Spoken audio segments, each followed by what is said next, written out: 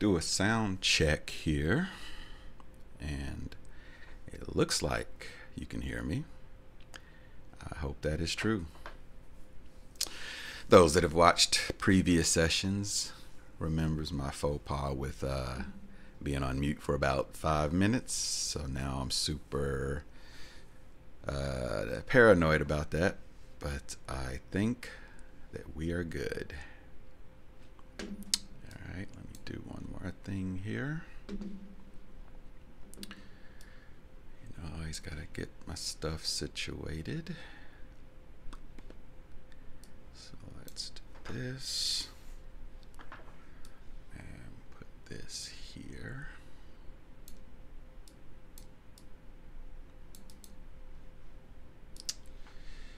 All right. I guess that'll I guess that'll work.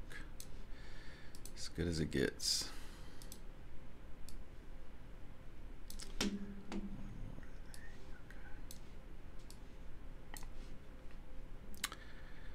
All right.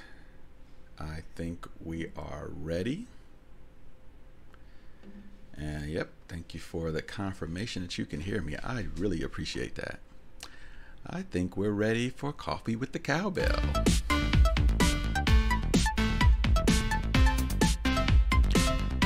And I am so glad that uh, you're able to join either live or on demand.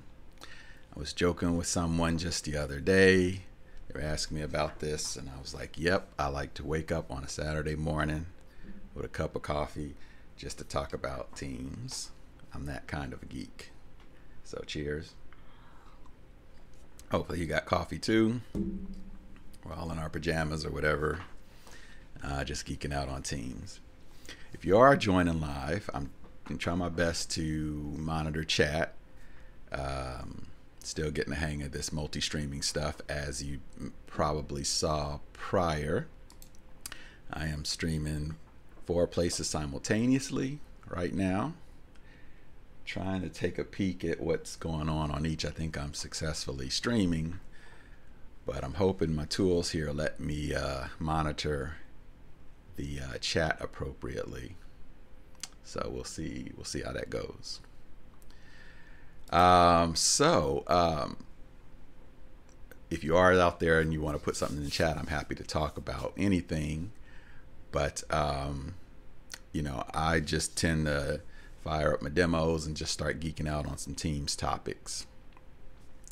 Um, one of the things I thought was funny from yesterday, and I'm gonna go over to one of my demo tenants here, is uh, fire up teams here. We were talking about the WhoBot, where you can, um, actually, I'll just show it go up in the box slash who and it and if you know you're using teams in your organization can do something like uh, saying who is you know Bob let's say. And who in my org found two Bobs one of which is Bob Wiley. And so then clicking on that brings up their um, their profile card and you know, in my demo tenant, there's not a lot of organizational stuff, managers and all that good stuff. But in your org, doing this would probably bring you know would bring up a nice hierarchy of the um, company org, you know, who they report to, who they manage, all that good stuff.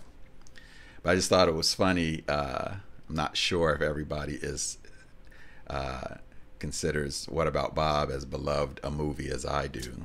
So uh, that's what this whole Bob Wiley thing is from. He, uh, no spoilers, even though the movie's like 20 years old, but you know, he, he, he writes a book at the end of the uh, movie called Death Therapy. And so that's what this is about. So I just thought it was funny. Uh, uh, yesterday, I think some folks didn't, didn't necessarily catch on to that. So not sure how popular it is, but I love that movie. What about Bob? You should check it out. Anyway, but uh, but I use that to to show this Who feature in case uh, it's not uh, you know known that it's there. And I a couple things. So I, I did access it from the search box. Uh, it's it's essentially a bot. You can see here. Um, and so it's got its own kind of dedicated window for the chat experience between the bots. So, so my clicks are essentially button press, or not button press. Are, my clicks are queries. You know, I I, um, I clicked on Bob here. It's essentially did a chat to the bot saying who is Bob. You know, full full um, email there. So I'm talking with the with the bot um, through these clicks. You could probably also notice on the left side, um, the Who, you know, left rail button is appeared there. I could uh, pin that if I if I do Who, if I do Who searches a lot. The more I say that, the more it feels like a Dr. Seuss book. Anyway, I can do Who searches. Um, if I do them a lot, maybe I would pin them to the left rail. and um, and uh, and if I go into chat, uh, chat here, you can see my my conversation with the Who bot is uh, here as well. All right. Um, so I call those things out for a couple reasons. One, you know, just like from a best practice perspective, uh, what what I'll what I'll find is after I'm done with this, you know, I need to find the person I want to find, and I, I found them. I got that done. I mean, this just like any other chat, this will stay on my recents list. Uh, I don't know if you've seen my five tips. What did I call them? Uh, changing lanes. Five tips for you know using chat. And one of the tips was uh, keeping your chat history here clean. There's no reason necessarily for that to just stay there forever. So I can just hit hide. I'm not deleting that chat or anything like that. It's just taking it out of the way. Um, I can do another Who search, and you know, I'm. Uh, I don't think there's a Tom in New York. Uh, sorry, I couldn't understand your query, so it's trying and so forth. But yeah, the Who the Who uh, chat comes back just like any other chat. So if I was to go through this, um, you know, maybe this one, right? Some old meeting I was in why let it take up space here on that so I just you know hit hide if I do that enough I'm going to clean up this this list to be just the most relevant chats for me. So you know what teams are trying to do initially is just recent newest to oldest which is cool. But I can clean that up a bit just by hiding it. And so I just like to point out you know that that's I'm not deleting anything. I'm really just hiding it out of view. It will come back the moment that chat resurfaces the moment I do a search and find it again. Um, so hiding just helps keep things clean. So I've got chats down here that Teams is keeping automatically for me. And I've also got my pin chats, the ones I know I want to stay uh, in front of me as well. okay. Um, and and as I, and while I'm here, I'm kind of just thinking through some things uh, that have had you know that I've used Teams for even recently as this week.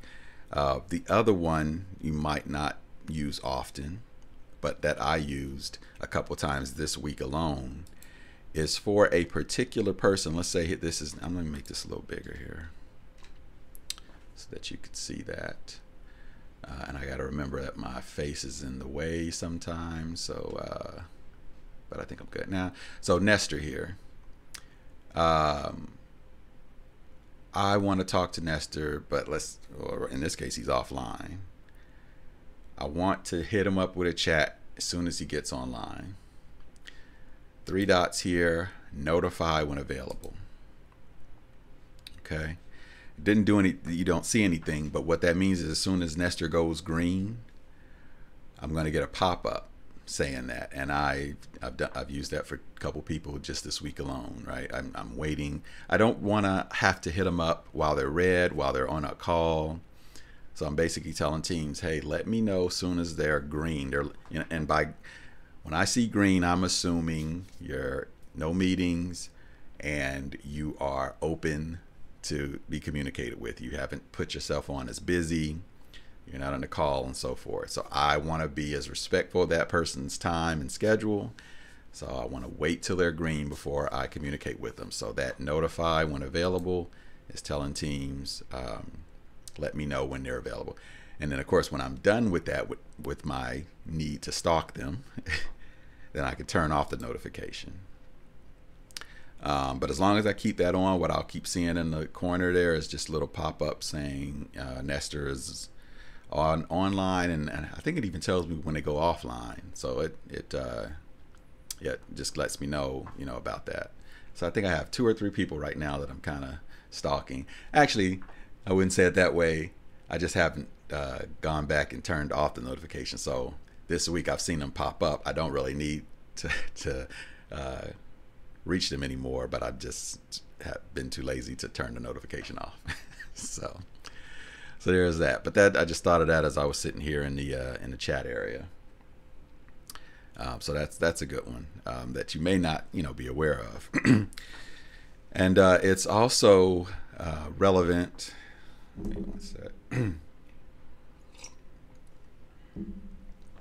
it's also relevant these days, or maybe was even more relevant maybe a couple weeks ago when it comes to time off and you know holidays and whatnot um, to kind of you know be sensitive to people's presence or what you know what they've set themselves to.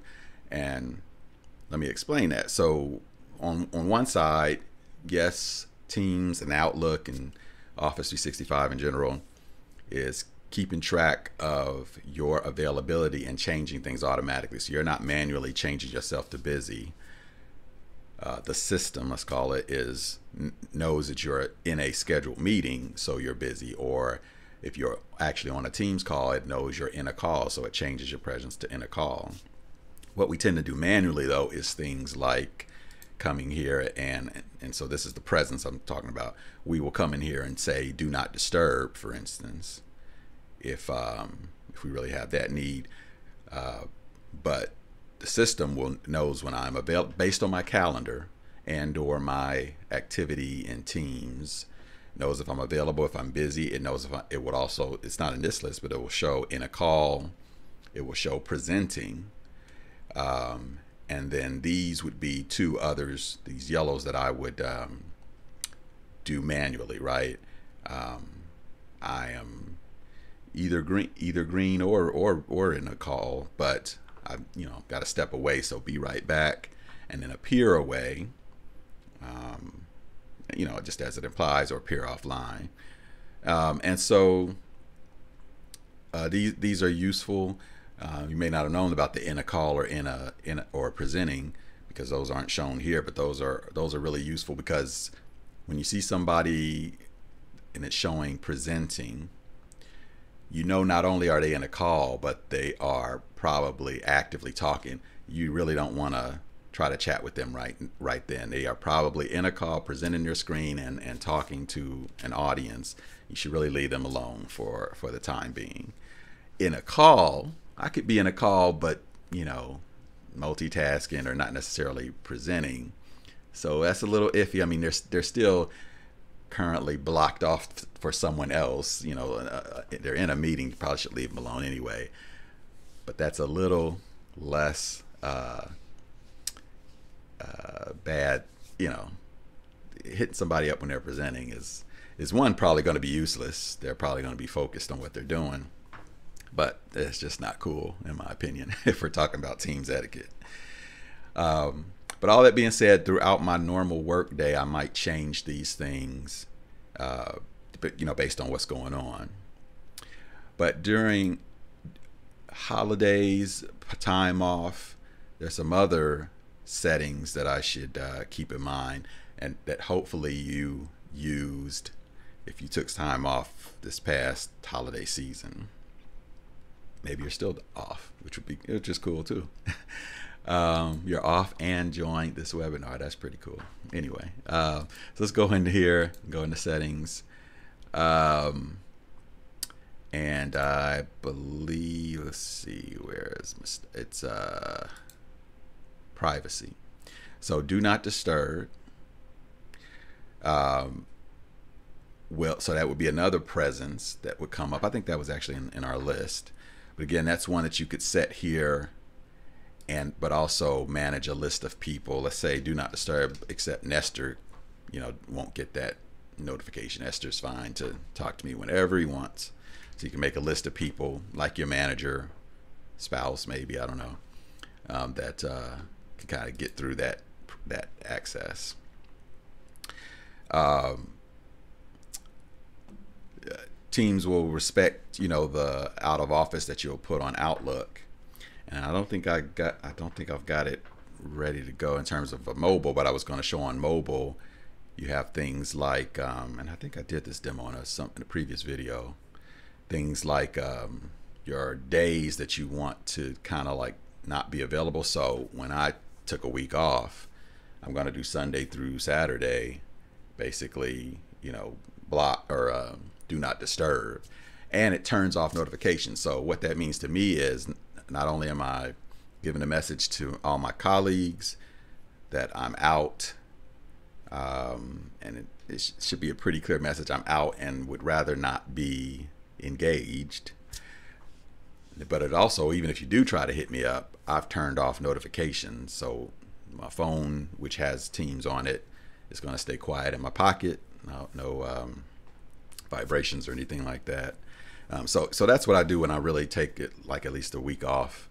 I go in everywhere and start hitting the, the buttons to quiet everything um, so that it's clear from my presence that I'm unavailable. But also, even if you rudely try to ignore all of my presence indicators, I'm still not going to get it because I turned off all these notifications.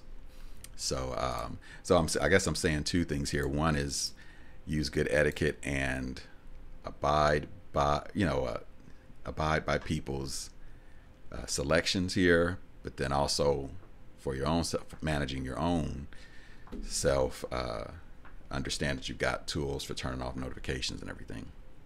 In my consulting days, I've been plenty of places where I could tell the culture was one that ignored busy and ignored do not disturb. But uh, to me that's not cool but i know that that can be a reality. Some people just don't um, don't honor these uh, presence indicators um, but you can tell them the teamwork cowbell said listen to my presence and if i'm on do not disturb then don't disturb me. All right. I'll get off my soapbox on that one but to me, again, that's a good one. And uh, and again, usually that is honored across the Office 3 Office 365 ecosystem, I guess, wherever presence might be might be found. So good deal. Um, not sure if I talked about this last time, but the other thing, as I was showing meetings, uh, this the concept of recording the meeting came up. Uh, let me let me use my own tip here and hide this again. Keep get that out of my view. Um, so I recorded a little meeting here, and a couple things about this I, I wanted to point out. So one, this meeting, and I didn't say anything or couldn't say anything because my demo environments don't have a mic, and I need to fix that really if I really want to have better demos there. But in a, in a in a normal world, what this transcript for that recording would have shown is the obviously the what each person is saying with their the attr the attribution next to it. Ricardo said X versus other people in the meeting. It's cool AI making that happen. So I'd get a transcript uh, that, that would be available right here in the meeting as its own tab, which is kind of cool or available as a um, document. This is going to be a boring document because uh, should be nothing in it. Yeah, absolutely nothing. I didn't know if it had a title or something to it, but it would be a document that, that could be shared. We got we have we've had cool things coming out lately related to transcription and uh, captioning. There's probably four or five labels you can put on this concept of words said during a meeting, right? There's the automatic stuff that the AI is doing. There's the ability to let manual captioning folks interact, uh, all the stuff. We, so check that out, you know, online and see what we're doing with CART and transcription and captioning and language, yeah, real-time language uh, uh, translation, I should say. I'm speaking in English. It's in real time being shown in Spanish. That's a thing for teams as well. So cool stuff there. Maybe that's something I could demo in the future too. But I, I got to get my my uh, microphone and my demo environments working in order to do that. Uh, so yeah, the transcription is there, attendance report is there, which I guess in this case would just be two people. So there's giving me all the info about the meeting and then the two people, myself and Bob. Yep. And then there is uh, the, the recording itself, which these days um, is going to be recorded in OneDrive. Now, I'm glad I, I'm glad it worked the way I, it just did. I clicked it there, and it opened up. I don't know if you can tell that this is Bob's browser. I use Edge profiles, so I have a I can open up Edge signed in as Ricardo, or open up Edge signed in as Bob, or other tenants or the other personas. So it opened up as Bob, and Bob is able to see this recording. Bob is able to see this recording because Bob was a attendee in the meeting and thus has permission to it. If anybody's been doing recordings, you know at first they were um, recorded in, in stream. They were organizational only, so you could have people outside of your organization in the meeting. They'd get a notification that the recording was available, but they wouldn't be able to see it. The recordings are just for were just for the organization. Now, with them being in OneDrive and OneDrive having these flexible sharing options, now you've got some scenarios where you can share with others. Um, did I? What did I just hit? Um, I think this is. Is this the right one? I think I hit the back button. Let me do this one more time. Hit that. There's that. I think I meant to hit the share button. Yep. So these flexible sharing options. Uh, here by default, this recording, only the people you specify have a link to this. I can see down below where my head is. Let's, let's change this a little bit. I can see down below the people that it's currently shared with, Bob and myself. But let's say I needed to share it with others. I mean, I've got the same options that you're hopefully used to sharing files in OneDrive and and uh, SharePoint. So uh, maybe there was um, say uh, I, maybe there's somebody that wasn't in the meeting that I want to share this with. I'm I'm clicking on specific people. In this case, I'll cl I'll click on block download. I want them to only watch it in the browser, but not be able to get the MP4 for whatever reason. Um, so I'm gonna hit apply and then I'll you know say you know Joe at Joe.com or whatever, right? Um, and hit send, and that's going to send it. It's gonna allow Joe after they authenticate themselves, you know, to, to watch this video, which is just something you just uh, couldn't do when when those video, when those recordings were in stream. So um, so that's good stuff. Um, had I not hit the block download, and as as that implies, someone could be could come in and download their own copy of the meeting, which I'm sure has some value too. But uh, yeah, it has value too. So however you want to do it. So the meeting recording is kind of cool there. All right. So yeah, kind of just jumping around to stuff that kind of was relevant to me this week, as well as. Uh, from my uh, webinar session yesterday. That would be at aka.ms slash cute for teams. aka.ms slash cute for teams will take you here where you will uh, I haven't even posted it yet, but it, it's on the YouTube playlist, episode 42. So all that stuff is out there. All right. So, um, so yeah, so that that's some cool stuff there. Uh, the the last thing I'd say is uh, um, I also had some conversations about email versus chat this week, um, trying to show some of the value of, especially for your inner loop team, chatting in the team in the Teams channel versus sending an email. And uh, let me see if I can pull that up real quick because I gave a few rules of thumb that you might find interesting. And I think I have it coming up here. Da, da, da, okay. Oops. Yep. Okay. So let me switch to that.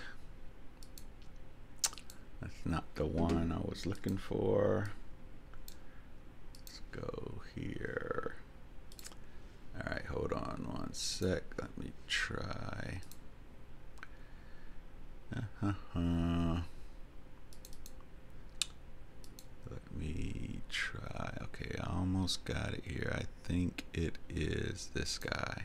There we go. I figured it out. All right. This was a little rules of thumb kind of thing that I was uh, talking about. When should my email be a chat? And the first one was Is your email to your team just a couple of sentences? If so, why make a nice, uh, why make a big formal email? That should be chat, just like text messaging, right? Or whether it's a few sentences or a lot of sentences, but do I expect a lot of back and forth after I post this in email? Do I want 10, 20 responses coming in email and, you know, amongst all the rest of my email? Or do I, would I like that in a nice sequential thread in chat? So if you think there's going to be some convo that, that this kicks off versus just one email where you're kind of just telling somebody something and then goes away, it's going to be convo back and forth. Let's put that in chat. Would it be helpful if the stuff that I'm about to say could be stumbled upon in the future? New team member comes on in six months. I'm new to the team. I wish I knew everything about Project X. I do a search and here's all, the full conversation of Project X showing up in Teams. How would they get that if your if that conversation was an email? Because right now that's in our the inboxes of the five people who talked about Project X six months ago. It's not somewhere that people can discover. Uh, so when we talk, when we have that conversation in chat, we're getting that benefit, right? And then also, uh, in general, will it spark some teamwork? Will uh, will a new document fire off as a result? You know that we'll collaborate on. Of course, my head is in the way again. Uh, things like that. Will it spark some teamwork? Um, so those are kind of some real rules of thumb there. I was, you know, suggesting to consider the fact that email fatigue is real. We get a lot of email. If I can help take away some of that email from your inbox, I'm happy to do so. I have found that when conversations happen in Teams chat, sometimes people are a little more engaging. Because if you're like me, I would love to fire back and say, Great idea, Sue. But I don't want to put another email into someone's inbox just for me to say great idea or good job or something like that. If you put it in chat, I feel a lot better about adding my little three word message to that. And then, um, and then I was also talking about how we can talk with our customers if they're federated correctly, um, you know, with chat as well. So, I don't know. That could be a whole session in of itself. Um, you know, when to do Teams chat versus uh, email, and maybe that will be future conversation for me. In fact, I'm almost sure it will now that I think about the fact that I've already got a deck ready for it. Uh, if you're in chat, hit me up. Let me know if that's a good idea or if you're watching this later, hit me up some kind of way. Let me know if that's a good idea, and I will make that happen. Um, but other than that, you know, we've we've now gone from morning to afternoon. I see 12:01 Eastern. Um, if you're West Coast, you're probably still having your coffee, which is all good. But uh, glad you could join me today, and um, I'll try to do this weekly. You also have uh, the what is it called? Um, Cute for Teams on Fridays, 11:30 Eastern. And I see a question real quick here in, in the government version of Teams on the desktop. We don't have the option to reply to a chat message that may be three or four threads higher. It's available on the phone. Yes, I know this was coming out, but do you know when it will be available? So I'll, I'll answer first. I'd have to check the doc, you know, to see when the actual, uh, you know, proposed data that is. I want. I feel like it's soon, but you are so right. That is a cool feature, and let me just show that for those that may not know what we're talking about here. I'm in a commercial tenant right here, which I think has it. I don't know. I might. I might be wrong. Uh, go to chat here. Try to find some chat with some older messages. Maybe even this one. Yes. Do I have any with even more chat? Oh, this is good. Okay. So what we're talking about here. Oh wait, I'm not even sharing. Hold on. Uh, I'm glad I caught that before I went too far looking at a commercial tenant here, Bob, Nestor, myself, talking about some things, right? So, uh, to be able to go back, you know, as this chat goes, let's say I wanted to reply to something. Um, so Bob said, "How you doing?" way back here, right? And then the conversation proceeded to talk about Project X. If I wanted to reply to Bob to say how I'm doing, like doing fine, if I type that here now, it doesn't make a lot of sense, right? Because Bob said, let's talk about Project X, and then my next statement is doing fine. So it doesn't make sense, but I can go up here to how you're doing and hit the three dots and reply to that message. And now, and hopefully you can see that pretty good. make it a little bigger here. Um, maybe. Uh, now it's clear that I'm replying to Bob's how you doing, even though the conversation is kind of evolving into talking about Project X. That's super useful. Uh, I used to fake it by uh, copying and pasting Bob's how you doing into into a new message, putting quotes around it, and then replying. That's a lot of work. So this is much better. And as the uh, person in chat just said that that's been available in the uh, mobile app, thankfully, but we've been missing it in the desktop. So I'm with you. I, um, I, I certainly have it now, you know, on the commercial side, uh, and love that it's there. So hang in there for those uh, waiting for for it to hit the government client. I, I do think it's soon, but yes, that's a that's an awesome feature especially for, and this is probably a whole nother topic I could talk about too, especially for folks who spend most of their time in the private chat area with their team doing group chats. One could argue that team could be in their team's channel having those chat conversations, for which then there isn't, I don't think there's the concept of the reply uh, here. Let me confirm that. Do I have any? Uh, I mean, obviously, reply at the end of a of a chat, but I wonder if I've got any chat where I can. I'm pretty sure. Oh, here we go. Bunch of replies here. Yeah, there's not a reply to, you know, in this thread to to this person's, you know, up above. Uh, why is that? I'm not not sure actually, but it is in the chat area, and there are a lot of folks who will use group chat more so than Teams channel chat. So this is going to be super useful for them. Uh, but yeah, group group or private chat versus channel chat is another topic. I need to be writing these down because that's another topic that uh, is probably worth a, a, session too. So yeah, great question. Coming soon to the government cloud. Um, available today for those who are in the you know commercial world, you know commercial cloud. It's the reply there. And I would say too, again, if you want to be a champion using teams effectively, you want to use that. I mean, nothing's keeping you from ignoring that and still putting fine down here and then just looking weird. Like, why did that person say fine? Um, I'm here to help you keep not look weird. And so now you know that's there. Now you can look cool by doing it the cool kids way with the reply button. Okay. That's what I'm here for. Awesome, awesome, awesome. Good stuff. So, uh, yeah, I am glad you were able to join. I had fun with my coffee and with teams on a Saturday morning chatting with you. I'll try to do it again next week. Hit me up, or or you can find me on Fridays, 11:30 a.m. Eastern.